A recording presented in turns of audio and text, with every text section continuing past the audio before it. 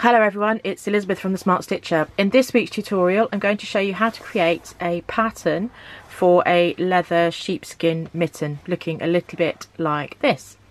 I'm going to take you through the steps involved. I'm going to show you two ways. Now the first way is if you've been following my gloving series and you have a template looks a little bit like this, we'll be working off your existing template. The second way we are going to show you is going to be working from the measurements just for your hands. So if you haven't done this one, don't worry. Um, we're going to show you everything from scratch. So let's get into it. Regardless of which method you use to create your pattern your template for your mitten is going to look a little bit like this depending on the style that you choose. So this is my trank section which is the sort of the main part of the glove and it folds around the index finger. So that's quite important to sort of note when we draw up our pattern the thumb piece is fairly similar in style to that of our sort of regular gloving pattern, but we don't have this part over here. Instead, we actually have a sort of a mirror image on both sides and that's because this is a slightly different style of fit it's perhaps a little bit more relaxed so we don't necessarily need um, points A, B, C and D which on your regular gloving pattern would have attached at the trank at points A, B, C and D but for the mitten it's a little bit sort of simpler so the thumb will sort of get joined in and we've used the marks where we've marked below our finger and at the base of our thumb to sort of then help put our thumb hole in position. For our first method we are looking at the pattern block we created for our glove. I am going to be drawing around the outline just of the glove that I drew. Now I'm not going to be drawing the sort of slightly flared element here, which I might do if it was a, an ordinary glove. I'm just focusing on sort of creating a straight rectangle. I don't need to mark in all of the, the base of the fingers other than the index finger. Um, so I'm going to be drawing around, drawing in the tips and their new positions, making sure that I've got all my other lines in position and it's going to look a little bit like this. The other key mark that I did transfer was the mark at the base of the knuckle of the index finger because that is going to help us position the thumb hole. So I know where the base of my thumb is, I know where the mark for my the base of that knuckle is and then I have drawn the basic sort of inner grid that you can see is the basic pattern. I've then worked out, and you'll see slightly later in the video, that I'm actually adding on a couple of centimetres to each side to um, account for the pile and the excess of the fabric. So what, where I've got my straight lines, I've then added half a centimetre on the right hand side, half a centimetre on the left, drawn two new vertical lines and I've then gone on to work around the top of the fingers creating that curved mitten shape. Now the line that we drew that comes down from the index finger is the one that's going to help us position the thumb. If you've already got your gloving template, you may wish to line that up underneath. You may find that you're slightly lower or slightly narrower or slightly wider, but you, you with a, a, casual glove like a mitten style, you can afford to sort of go a bit wider. And you can use that as a guide to trace your shape in. And I've just rounded the top a little bit more because obviously we don't need points A, B, C and D for this particular style. So once I've then drawn in everything and I've got my basic shape I can then just fold the paper over along the outer line that I've got here. So it may be useful to use a ruler so that it's nice and level. Make sure it's creased and then once you've given it a crease you can flatten it out and just draw the other side of the pattern in without copying the thumb hole again. So you will end up with a template a little bit like you did when you were doing your trank. And that's basically then your mitten template finished. Once the trank is finished you then need to create your thumb piece. Now for this particular pattern we don't have points A, B, C and D. We just have the sort of what would have been point A here. So I've made my thumb template a little bit wider and I can see from my yeah from my uh, if I just compare the two that the, this one is a little bit wider just to accommodate the extra um, pile and the sort of ease of the leather plus I want to get it on and off so what I would recommend is you would start off with your template make it a little bit wider by at least half a centimetre but not necessarily too much more on the length and then you would once you've made it wider just flip that over and basically do the same on the other side so that your thumb piece is symmetrical. Once you've finished drawing everything out and you've got all your tracing done, make sure that your template is then glued onto card and then cut around everything ready for um, laying on your leather and starting to cut out. Now, if you are then using the method where we're going to draw around our hand, we're actually going to be creating something that looks a little bit like this.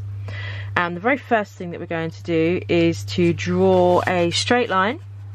And I've got a sheet, so this is A3 paper, and I'm going to line up my hand. So I want to probably just angle this a little bit but I want to try and keep my forearm parallel to my straight line. And as much as I can I want to keep the edge of my finger. So I'm not really kind of pressing down hard. I'm just adding a little bit of pressure because I'm going to draw around my hand in just a moment so when you start drawing around your hand you want your index finger parallel to that line your forearm wherever possible parallel to the vertical line as well. Um, it may not be possible to get this completely parallel, don't worry about that. Try and just get a good line at the top of the sort of where the fingers meet the line here. So I'm going to keep an upright pencil and I want to start drawing around the shape of my hand. Now you might sort of question why I'm going to do this but I, first thing I want to do is go down in between my fingers right to the base of the sort of almost to the webbing at the base of the fingers there and I'm just going to angle the pencil in a little bit. Now that's the only finger that I'm going to go down in between. There are other fingers I'm just going to draw across the top. You can go right the way down if you want but you don't have to for this particular pattern design and I'm keeping my pencil vertical at all times.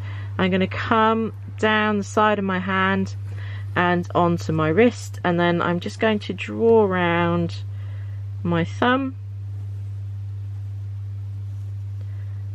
And then that's going to come down onto the wrist as well. Now before I move my hand I want to just sort of mark on right at the base of the thumb where that is and sorry not the base of the thumb the base of the sort of index finger where it meets the thumb. Beg your pardon. And then just where the sort of base of this the fleshy part of the thumb finishes and joins your wrist I'm going to just sort of mark that on very loosely as well.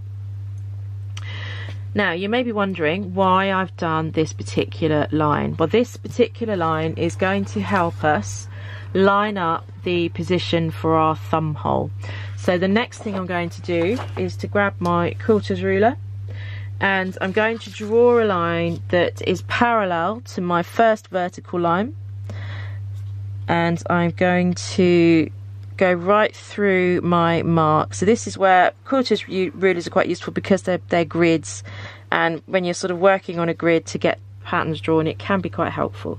So I'm going to just draw and I'm going to extend that so it's much longer than I would actually need. Now the next thing I'm going to do is to turn my hand over and I'm going to mark where my sort of finger kind of finishes. It sort of goes in. They've got the, the sort of the knuckle part there and then at the end there is a sort of very sort of soft bit. So I'm just going to grab a felt tip and do that. So I've marked with a black felt tip the position I'm now looking to measure and that's at the base of my finger. And I'm just going to use my tape measure. And it's again it's not looking to sort of be absolutely precise to the finest measurements but that is looking at about 2.3 to 2.4 millimeters. So I don't want to squidge too much because that's going to sort of change the measurements. So I might sort of stick with that 2.3 so what I'm going to do is just measure down and make a mark because that's going to help me with the next part. Now let me use a ruler. So I'm going to have the ruler on the the base of that mark and I'm going to measure 2.3 centimeters and I'm going to make a little cross. Now that's going to help me when I come to start to put my thumb piece in I'm also going to use my quilter's ruler and I'm just going to extend the horizontal line where I put the base of the thumb um, just across the page so I kind of know that when I get to it my thumb um, the base of my thumb is going to sit against that line. Now the next thing we need to do is to take a measurement around the closed fist. You may have seen this earlier if you were watching from the other pattern method. We want to wrap the tape measure around. Now you don't want it to be pulled really really tight. You don't want it cutting in. It wants to sit comfortably around the hand so that when you squeeze your fist closed we can get now you may need to put the tape measure in a few different positions to to get a sense of this um, and just to sort of almost take your, your best kind of your widest measurement because um, this can sort of vary. So you want to sort of slide it up and down.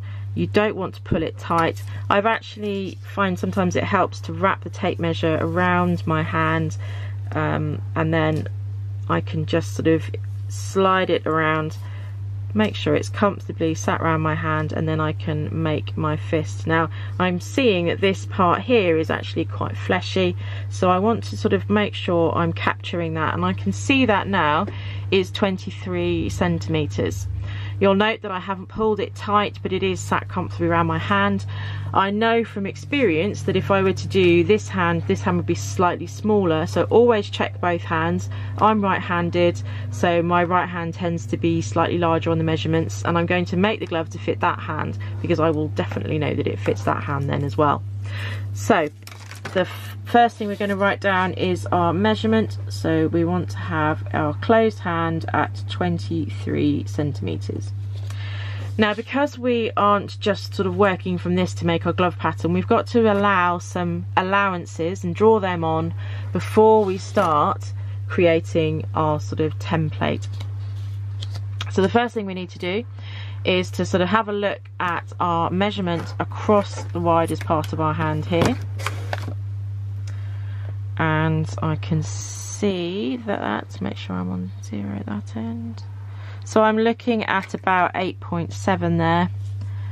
So if I do 8.7 plus 8.7 that will give me 16 17.4 so I'm then going to deduct 17.4 from 23 minus 17.4 and that will give me the measurement that I need to sort of add either side. So once I have my measurements, I now need to work out how much to add on to the left and right so that the leather will at least go round my hand. Because once I've added that on, I'm then going to be looking at the pile and how much extra to add on to accommodate being able to get it on and off and also to accommodate the thickness. So certain key measurements for me my closed hand is 23 centimeters, so that's where I'm measuring the widest part. I'm just going to zoom in a little bit more to show you. Now my flat hand was where I measured across the hand that I've just drawn and that was 8.7 centimeters so I've doubled that because that gives me the front and the back and I know that that then comes to 17.4 centimeters. Now in order to find out how much I've got to then accommodate for the depth of my hand to sort of make sure that the two pieces of or the fabric actually goes around my hand, the leather goes around my hand, I then have to subtract the flat hand from the closed hand. So 23 minus 17.4 centimeters gives me 5.6 centimeters left to distribute. Now in glove making terms, we've almost sort of got to remember that we've got the sort of the back of the hand view, we've got the front of the hand view, and actually what we've then got to think about is making sure that we have a sort of a, a balanced distribution on the sides there. So I've got 5.6 centimeters left to distribute. So if I imagine I'm going to have that halved and I can add a little bit to either side here because if I then consider the measurement that I'm going to do for my template this is going to be doubled up so it's quite important to sort of break it down.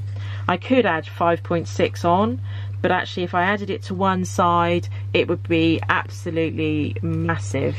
Let me zoom out to show you. So if I just was to put my 5.6 centimeters onto one side um, in effect it would double by the time I'd open the pattern out so if you can see here if I added my 5.6 on it's going to be absolutely massive as a glove. So the, it's sort of something to remember. You've got to consider the front and the back and the left and the right.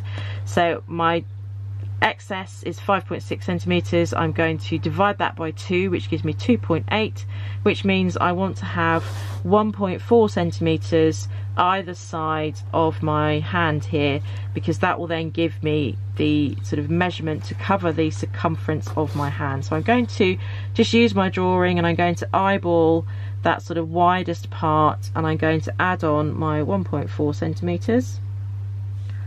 And then I'm going to do the same. So I got one two three four and on both sides.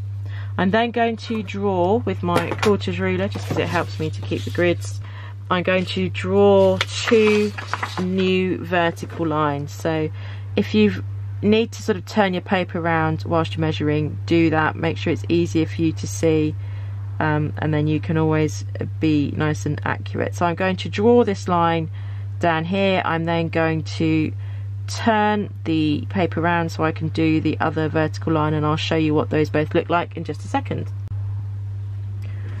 So as my grid is starting to improve I've now got a new vertical line down here and I've also got my new vertical line down here.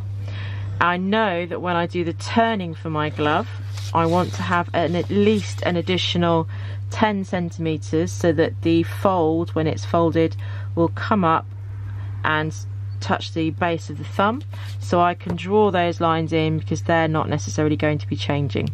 The next thing we need to work out is how much interference, if any, the pile is going to create and do we need to add on or how much do we need to add on to accommodate this sort of depth within the fur. So let's have a look at some ways to do that. To make my mitten I'm going to be using some double-faced shearling and it has a sort of very sort of definite direction. So if you run your hand across it it is very much you can sort of feel smooth one way. If I pull back it's slightly sort of rougher. So as I put my hand into the glove I know that I want it to sort of travel in the direction of the pile. So to sort of start to work out how much extra I'm going to need I'm started to just sort of play about with a few offcuts and that really is sort of marking it with something like tailor's chalk so that I can start to get a sense of the difference between sort of sort of literally just pulling it around my hand clenching my fist and sort of seeing well actually if I do clench where does my sort of finger sort of end up and I can then sort of flip over the shearling. Now I've kind of used my finger here as one of the edges and I've got my index finger on this side so I can use something like tailor's chalk because I know that that will come off. I've just done a very kind of rough measurement and I just want to now go over that and check how much of a distance we've got. So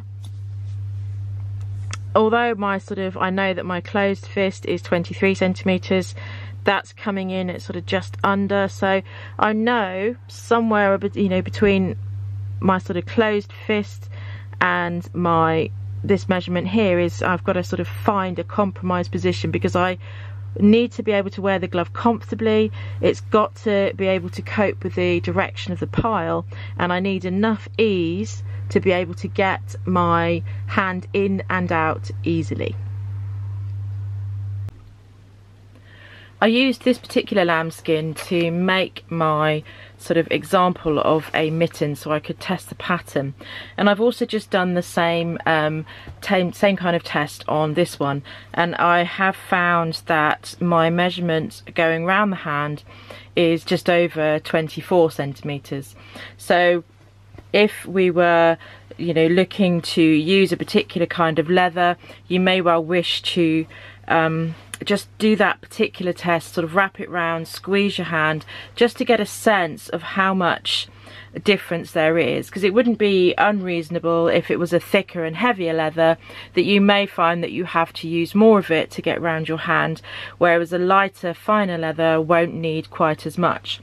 I thought this would be sort of a little bit lighter just because the, the back is a little bit thinner than the other sample I tried but actually it's worked out a little bit thicker. So this first sample I did was sort of coming in under my hand measurement at sort of 21 nearly 22 centimeters whereas this particular one has come in over my measurement. So I would always just sort of check and just do a little test and the, the worst thing to do is to start cutting your leather or your sheepskin so always try and wrap it first if you can. Um, you may well find that with a, a sheepskin like this you're not going to have as much stretch as you might have say on a sort of a lamb nappa that is much thinner and finer and will probably have a bit more stretch. So do experiment when testing your materials and then we're going to talk about how we adjust our pattern. So we've now got to work out exactly how much ease and wiggle room we're going to add on to our leather glove uh, based on our observations of the pile, of the thickness of the leather and how the leather's responded when it's been wrapped around the hand, but also how much wiggle room we want to have when we put the glove on. If you're somebody that likes quite a lot of wiggle room, say like you um, would like a mitten a bit like an oven glove, then you might add a little bit more ease. I didn't want to have anything that was too paddly or too kind of wide and flappy so I've, I opted for actually when I was working this out I just sort of did those sort of measurements drew up the pattern and thought well let's just see what works and what doesn't. And from that I've also then been able to work out my adjustments and to sort of the best way in which to advise you. Now I've looked at the possibility of adding an extra three centimetres, possibly two centimetres or an additional centimetre. I think that's probably just too small and probably too quite negligible.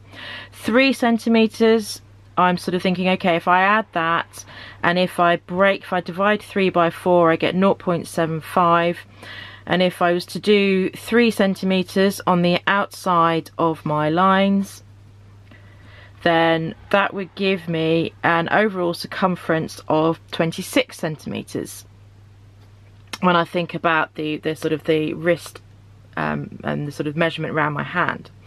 So that might be quite good, but I'm thinking 26 is three centimeters, that's quite a lot. Do I want that much? And again, this is where making a mock-up can really help.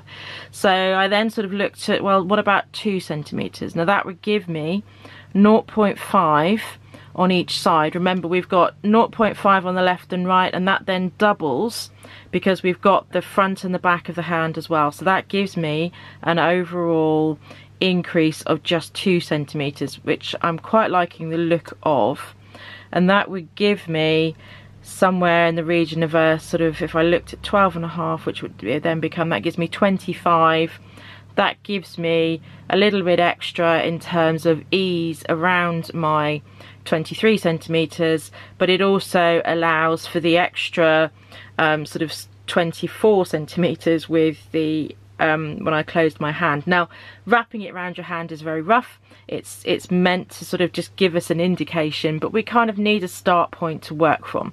So I'm going to add two centimeters to my pattern piece so I've made my marks and I've actually just done a couple of extra marks to show you. So I'm going to ignore the outside marks and I'm going to now draw two vertical lines that go through those marks.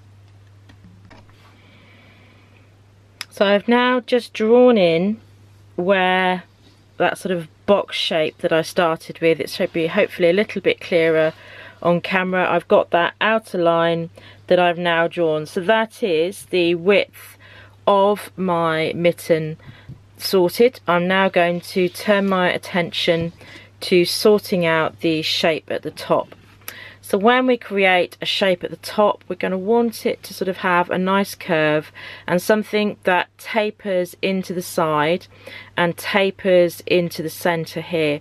If you want a sort of a nice long taper if possible, especially on the side, because what you don't want to have is a kind of almost like a little bump where your taper stops. You want it to sort of go seamlessly down into the rest of the glove.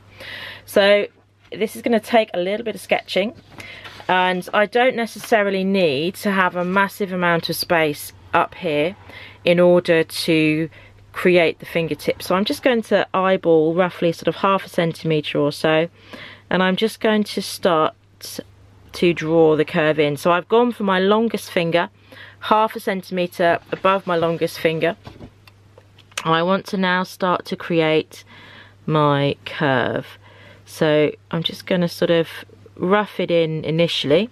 I find it easier sometimes to draw the curves coming towards me. Now, I don't want the taper to sort of go right down here because that's going to start to take away width from the hand. So if I just turn that the right way around, it'd be easier to see. So if I have a taper that goes all the way down here, I'm going to be losing some of my width on the hand. So I'm going to sort of very carefully try and sort of taper it in so that I still maintain the width of the widest bit of my hand. So I find it easier to to turn it round to draw it in, but if I can just quickly show you and give you an indication of what I'm talking about. So it's going to look a little bit like that, but slightly better in the curve. So I might just sort of want to make it nice and balanced and then just taper it in. And I prefer a slightly longer taper just because I think that gives, as I've mentioned, a nice sort of run into that side seam. So I'm going to just have a look at this in just a moment. I'm sort of loosely following the shape of the fingers to create the seam and I want it to sort of look balanced so I don't necessarily want to have sort of too much of a lean one way or too much of a lean the other way. It's about just look at making it nice and balanced. And sometimes I've almost got to draw in a slightly wider line to then see if it's my eye that's sort of been drawn the wrong way or if indeed the, the line does look better going another way. So I can start to sort of play about and just sort of balance it out a bit and then create a nice shape. So I'm I'm almost there with my curve and if you were not wanting to follow the shape of your fingers you could of course just sort of go for quite a blunt kind of contemporary shape and just sort of square it off at the top and maybe angle the side. You could round it even more almost so that it's a little bit more symmetrical either side. As you're making the glove you you want to sort of you want the glove to fit but you also want it to sort of look reflect the style that you want it to look like as well. So you know play about. I always make a mock-up and then sort of have a little look and say okay where do I need to improve where do I need to add some more space but just experiment with it and see you know see what you can come up with. The next thing we're going to do is to create our the space for our thumb to sit in. So it's going to be a sort of oval sort of teardrop almost like an egg shaped kind of hole a little bit like this. And we obviously we've got the sort of the top and almost our bottom points identified. We just need to work out how wide we want this section to be. Now if you look at some commercial gloving patterns, some of this, sometimes this is um, a little bit narrower, it's quite slim.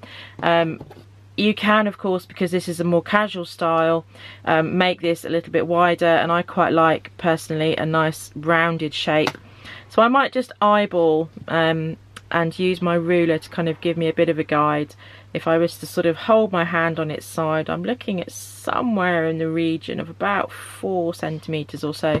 So as a little guide I've just gone across the sort of the fleshy part of my thumb and I know that I want my shape to come out at least by sort of two centimeters either side. Now I can go a little bit wider but what I want to do now is to start roughing in a shape. Now you might find it easier to just do half the shape and then just sort of almost trace it and put it over the other side.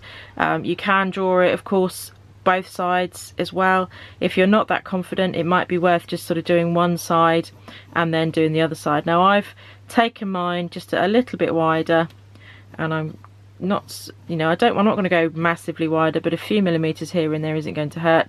And I prefer for mine, I like quite a nice sort of curve at the bottom. So I'm just going to play about with that and get to a point where I feel happy with the sort of finished size. Um, then we shall carry on with the next stage. I've now got a shape I'm happy with.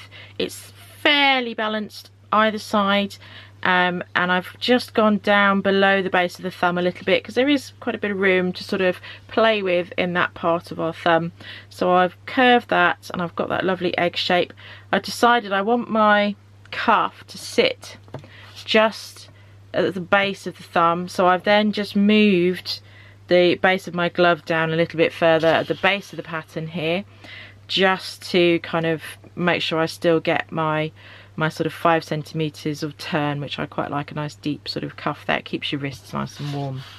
So we've got a basis of our pattern here. The next final bit of the puzzle to sort out is the actual thumb template. So that's what we're going to do now. So when we've completed our thumb template it's going to look a little bit like this. The good news with a thumb like template like this is there's no left or right so you would just cut two of these out when we've made it we've got a, a sort of a similar dilemma in terms of how much we add on for the ease and for the pile of the leather that you're using so again always do a little sort of wrap around chest and a check to make sure that you know um, the sort of difference when you do start wrapping it around your hand. I have taken another measurement and that was just by wrapping the tape measure around the sort of joint of my thumb there. And I know that whatever pattern I create needs to be at least 7.3 centimeters in circumference. So I need 7.3 plus a little bit extra to make sure that I can get the um, thumb on and off. So with the thumb I know that my sort of knuckle here is is quite wide. So I need I'm just going to to measure that and you can do it in inches or centimeters but whatever you do stick to one. So I know that I need at least an inch across my thumb. And when we draw the template it's going to look a little bit like this one here and this when it's finished. But we're going to sort of just put in some allowances to make sure that we can actually get it on. And then I'm going to show you how to draw the shape. So to start with I've just, you don't need to do this but I've just marked it on to show you that I've got the circumference or the distance that I need my thumb measurement to be, the very minimum, is at uh, 7.3 centimeters. To do the thumb template, it's going to be symmetrical, so I'm actually going to fold my piece of paper in half and I'm going to work on this one side. So I'm just going to zoom you back out again. And the first thing we're going to do, so we're going to halve everything again, a little bit like we did with the glove pattern, is I'm going to mark on a line that's half a centimetre from my fold. I'm going to just use that smaller quilter's ruler to help me with that. And I'm just for the while I'm doing the guidelines I'm going to make them nice and long. I've then also measured again with the fleece going around my hand just to sort of check what happens when I bend it.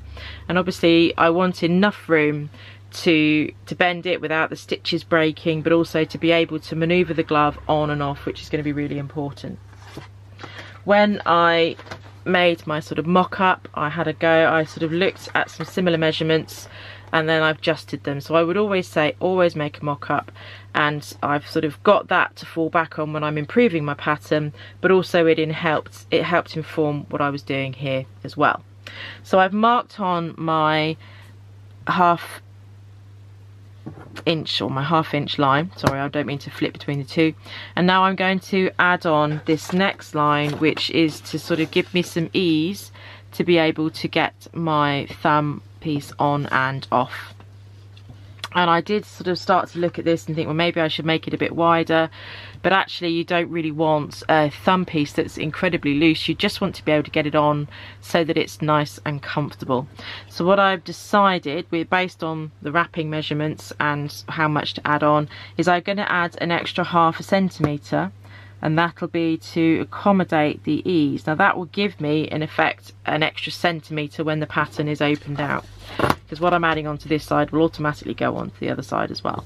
So I'm going to just draw a, another line that's vertical there so that I've got um, everything in the right position. We're then going to draw around the thumb and we're going to mark on a few reference points. So that's not quite where I want it to be.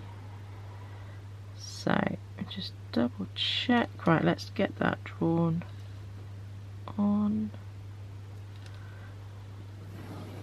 There we go. Once I've got my lines, I'm then ready to draw on. It can be tempting to park your thumb quite low. I'd be roughly, say, a centimetre down from the top line up the side of your thumb just like we did when we were doing the trank pattern so that the the thumb is level or is pretty much level with the line and my thumbs have lots of lumps and bumps but you're looking to sort of get an overall sense that it's nice and straight keeping an upright pencil I'm going to then start to draw around. And I'm going to go sort of down as far as I can into that sort of webbing at the base of the thumb, at the sort of upper edge of the thumb. And then I'm going to just come up with the finger. I'm then going to come down and just mark down at this side of the base of the thumb with a mark where my sort of base of thumb meets the wrist and that's this is very rough at the moment so it's absolutely fine it's going to look a little bit like that. It probably doesn't look like very much at the moment. Now, this is the mark I made when I put my the base of my thumb in. Now, if you have a look at your sort of thumb, um, it does go a little bit longer into sort of, we've got a webbing section and then you've got sort of a, a little bit further in. So a bit like when we make gloves and we move the points on the back of the hand down, I'm actually going to move my point here a centimetre lower to help me start to draw the line out because I don't want my the sort of the top of my glove sort of sitting and hanging up here. I actually want it to sort of feel quite comfortable down here.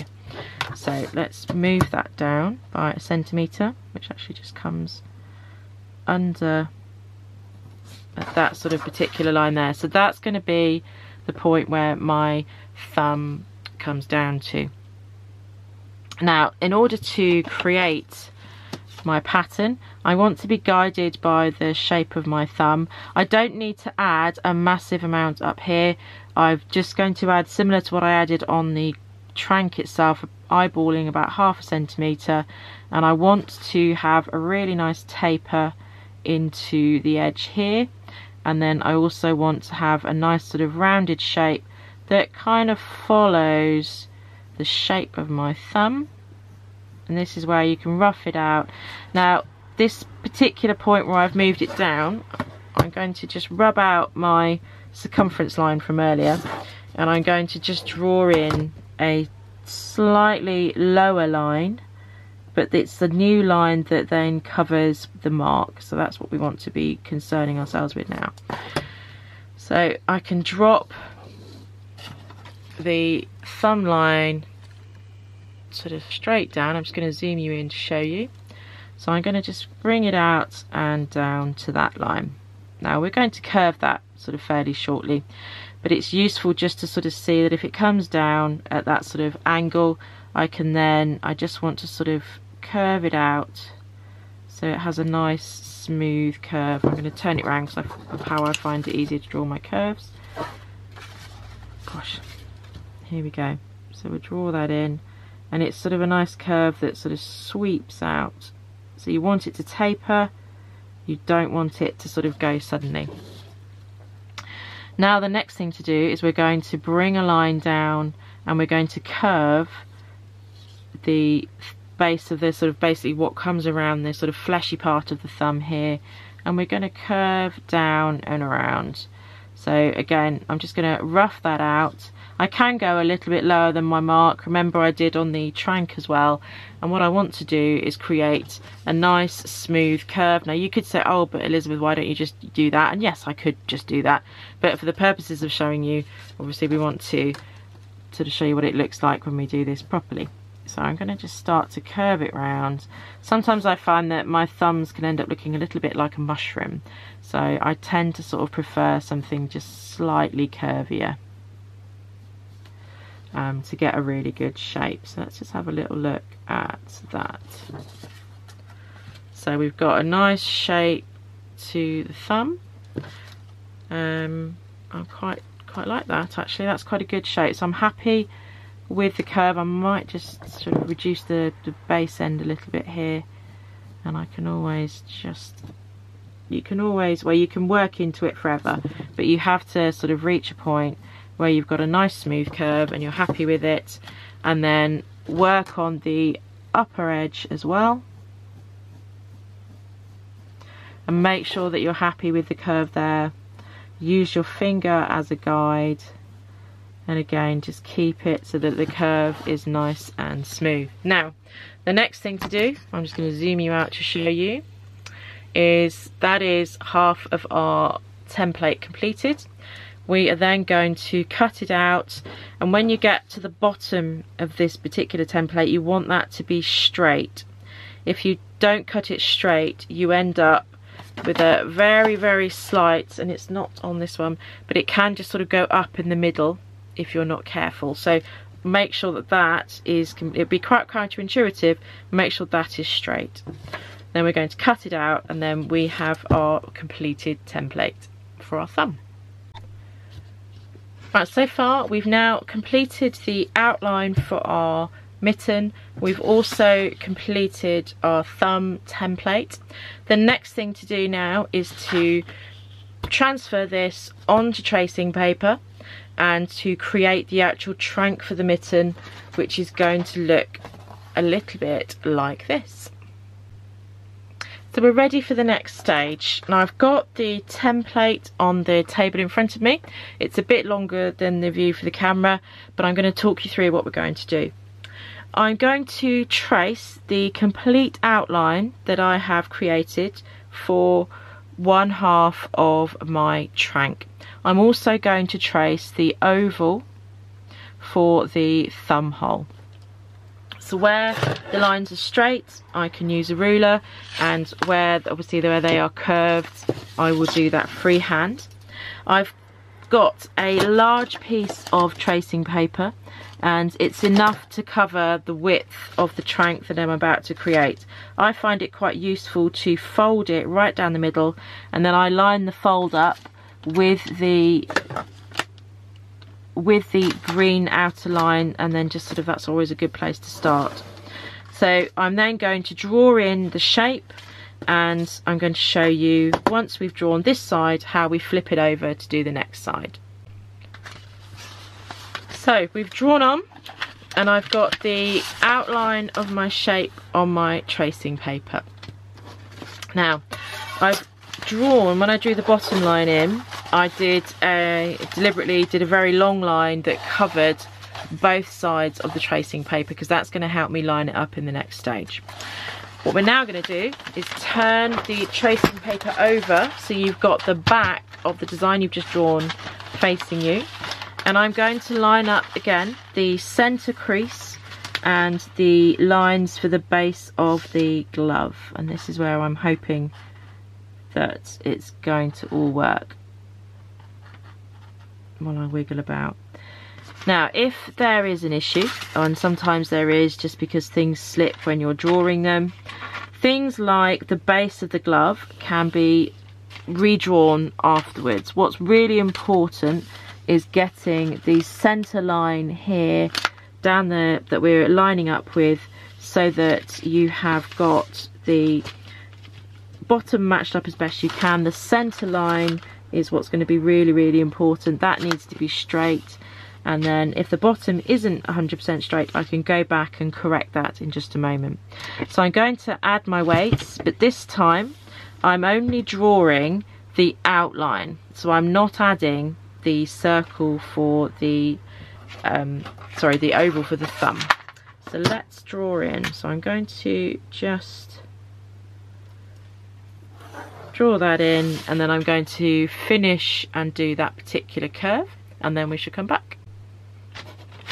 I've now drawn in my shape and what I'm going to do is just use my quilter's ruler just to check the bottom of the glove so I can line up the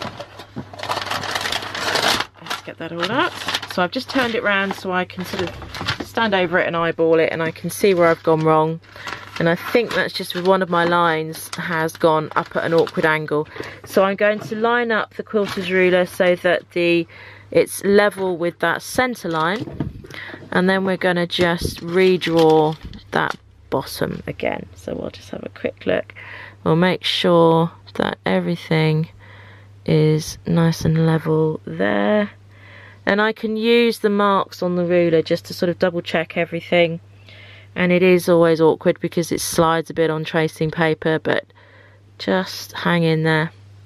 Slow but steady. And then I'll just redraw the line. I'll also just rub out anything that's in the way. So we'll draw in that line. I'll make that a bit thicker and a bit heavier. And then we will be able to see our completed template. So if I weight this down I can show you what this will look like. It's always useful to just do a few labels when you are getting ready.